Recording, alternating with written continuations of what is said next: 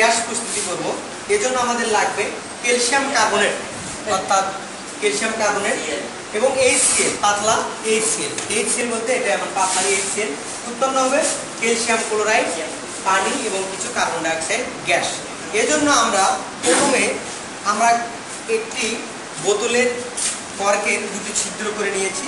ছিদ্রর এক প্রান্তে একটি বাঁকানো নল ঢুকিয়ে দেওয়া হয়েছে এবং অপর এক প্রান্তে একটি ফানেল আকৃতির একটি নল ঢুকে দেওয়া হয়েছে, যে নলটির প্রান্তটা বড়, একটা তার বড়।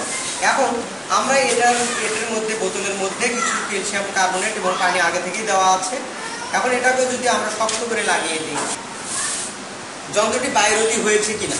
এখন সেজন্য আমরা এখানে একটু চাপ দিই। চাপ দিয়ে দেখব যে পানিটা উপর দিকে উঠে যাচ্ছে এবং এখানে আমি চাপ দিয়েছি।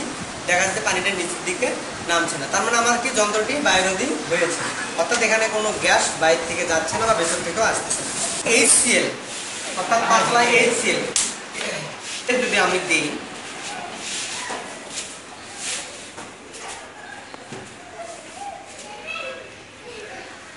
তাহলে এখানে দেখা যাচ্ছে একটা বুদবুদ তৈরি হয়েছে। অর্থাৎ এখানে কোন গ্যাস তৈরি হচ্ছে?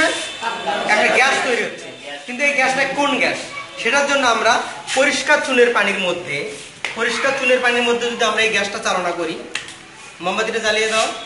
এখানে দেখো, পরিষ্কার চুনের মাধ্যমের মধ্যে মোমবাতি, যদি আমরা গ্যাসটা চালনা করি, দেখা যাচ্ছে এখানে বুদবুদ তৈরি হচ্ছে এবং এখানে কি হচ্ছে, পরিষ্কার চুনের পানিটা আস্তে আস্তে ঘোলা হচ্ছে। কার্বন ডাইঅক্সাইড গ্যাসের আমরা আর একটি বৈশিষ্ট্য জানি, যেটা আগুন নেভাতে সাহায্য করে।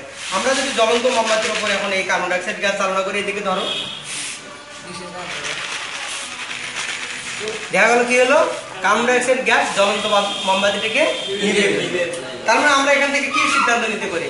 যে কার্বন ডাইঅক্সাইড গ্যাস জ্বলন্ত মোমবাতিকে নিভিয়ে ফেলে এবং পরিষ্কার চুনের পানির মধ্যে চালনা করলে এখানে কি উৎপন্ন হয়? এখানে একটা বুদবুদ তৈরি হয় এবং এই পরিষ্কার চুনের পানি আস্তে আস্তে ঘোলা করে।